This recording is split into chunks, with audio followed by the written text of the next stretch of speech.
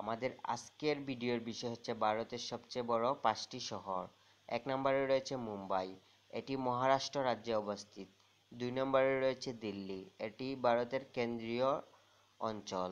তিন নম্বরে রয়েছে কলকাতা। এটি পশ্চিমবঙ্গ রাজ্যে অবস্থিত। চার নম্বরে রয়েছে চেন্নাই। এটি তামিলনাড়ু রাজ্যে অবস্থিত। পাঁচ নম্বরে রয়েছে বেঙ্গালুরু।